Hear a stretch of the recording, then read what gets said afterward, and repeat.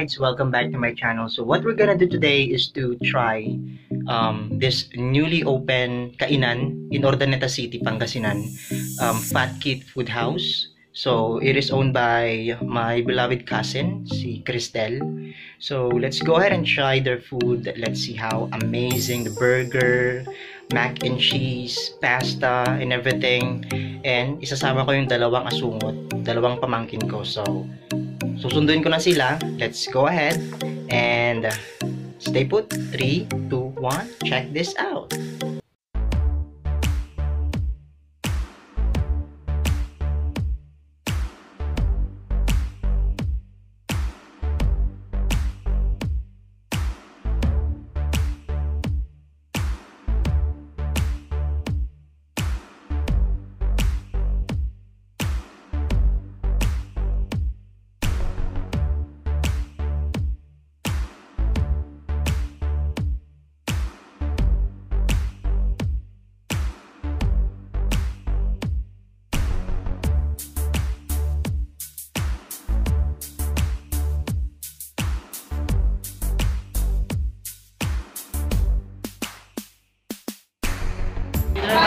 Destination.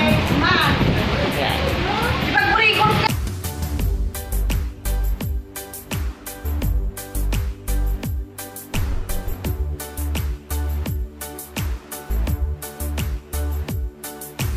Gutom na ba kayo?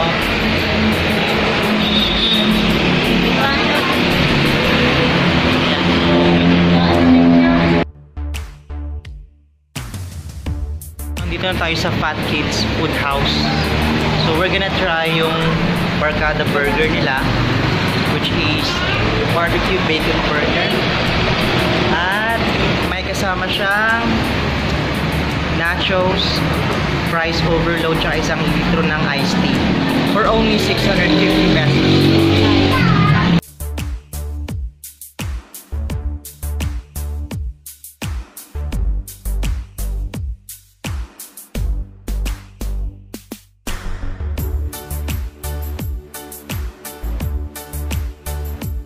Instagram ang yung wall.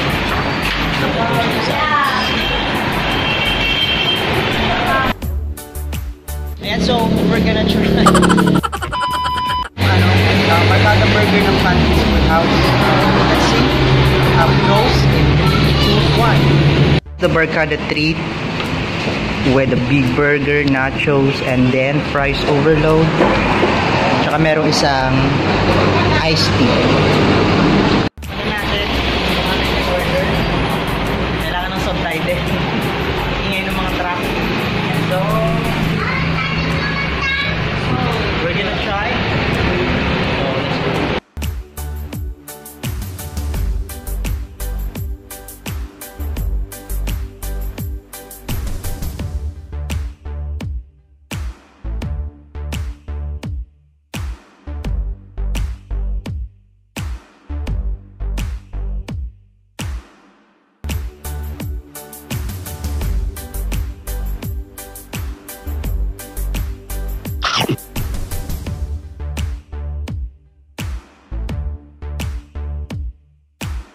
Delicious.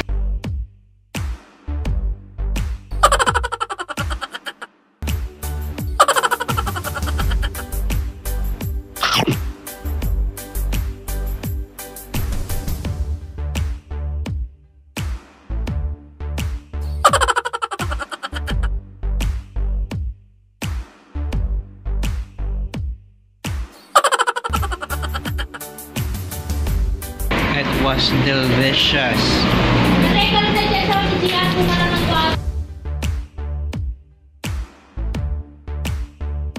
Sarap ba yung burger? Yes! Job! And edifieds, ka-edifieds dyan, it's a wrap. So I hope nag-enjoy kayo sa video na to. Um, I would recommend you guys to try their food once na mag-uwi kayo sa Pangasinan or sa Norte, La Union, Ilocos Sur, Ilocos Norte, or Baguio. And they are located in Urdaneta City. So sa tapat lang ng Pan Pacific University, North Philippines. The burger was great, the fries was great, the nachos was great, everything was great. Alright, that's all I can say. If I'm gonna give them a rating from scale of 1 to 5, I would say I will give them 5 because the food was really awesome. That's all I can say. Alright, so see you next time and please do not forget as well to visit my YouTube channel like, subscribe, and hit the notification bells, uh, notification bell so that um, if I publish a new video, you'll be notified right away. Alright, so thank you so much.